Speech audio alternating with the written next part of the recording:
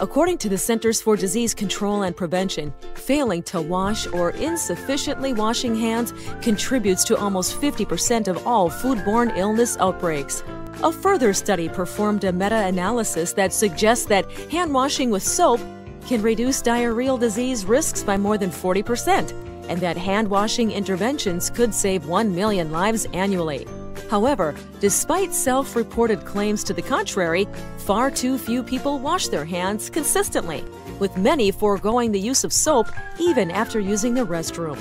While between 94 to 96% of adults self reported washing their hands after using the restroom, studies have shown that only 64 to 85% of adults were observed washing their hands in the bathroom, depending on location with women 83 to 93% on average being observed washing their hands more often than men 66 to 77% on average. For more information or to schedule an on site assessment, contact us today.